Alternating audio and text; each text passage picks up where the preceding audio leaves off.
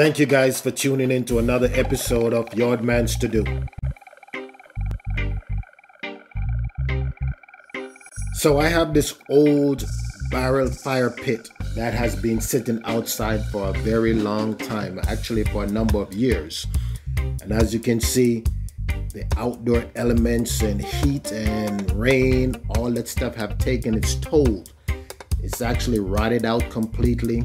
So today we're actually going to try to uh, repurpose this and uh, bring new life to it.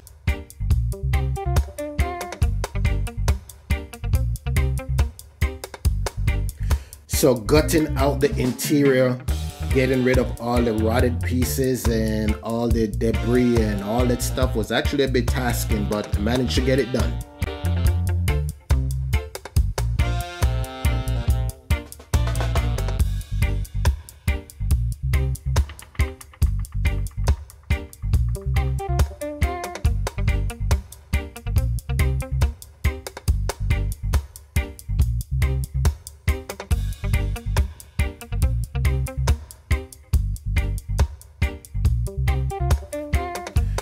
So after sanding down the exterior, I use a quarter inch ply to cut out circles for the top surface as well as the bottom to attach legs to the bottom. And of course, you definitely have to sand down your rough edges and get it ready to uh, for painting.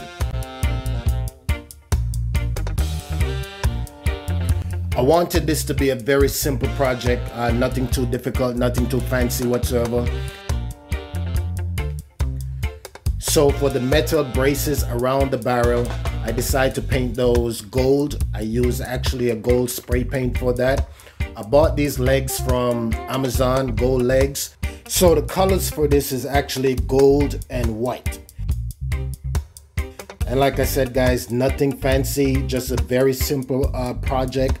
As you can see, the top is being painted now. And once it's all put together, you can see that it actually turned out to be a very nice little piece. As you can see, I also install lights on the inside just to give it a little bit of elegance.